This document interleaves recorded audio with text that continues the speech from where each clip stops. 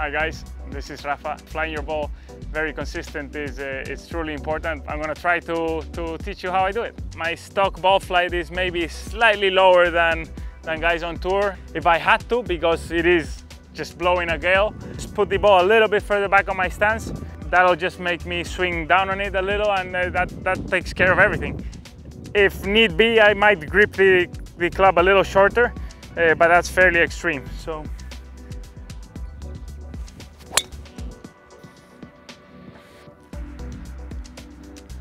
I tell you, the conditions are right, that on a links course is just a beauty. That just keeps going, keeps going, keeps going. Nowadays, you wanted to launch it higher and with low spin, so that's, that's the way you maximize your distance.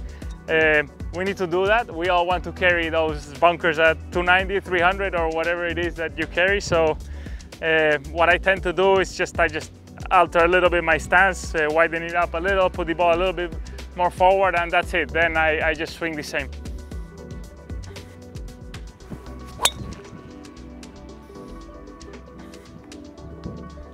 There's a bit of wind there. That wasn't me, eh? I promise.